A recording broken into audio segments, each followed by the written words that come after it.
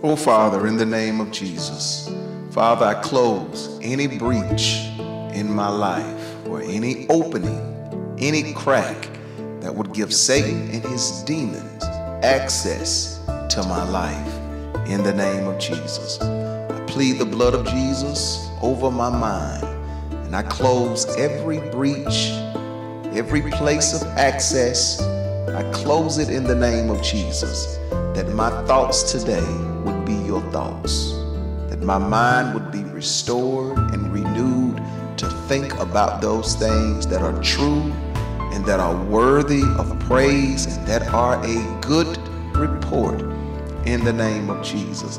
Father, I close every breach, every crack, every place of access into my prayer life in the name of Jesus. I decree and declare today that I will not have a prayerless life, but my life and my prayer life would reflect your goodness and your grace in my life.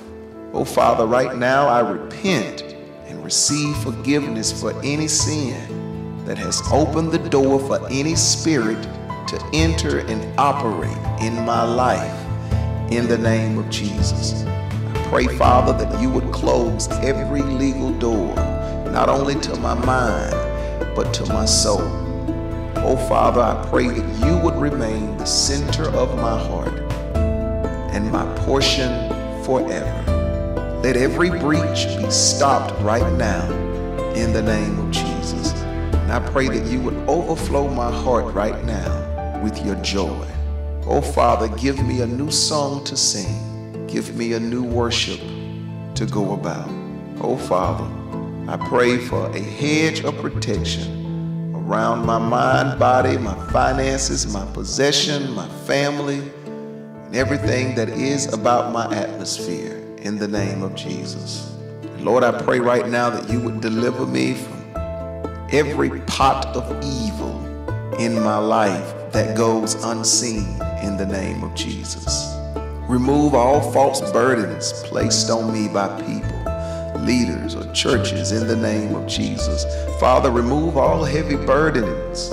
I pray that you would sustain me by your strength according to Psalms 55 and 22 in the name of Jesus. Let every yoke in my life be destroyed. And I pray for your yoke, which is easy your burden is light, to be my priority, that I may follow your will all the days of my life. Father, I thank you and I love you.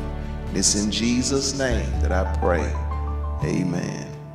Thank you for listening to Daily Warfare Prayers. If you would like these prayers mailed to your address every month and my new book, just go to www.warfareprayers.org, subscribe to the monthly prayer book, and I will send these prayers to your address every month.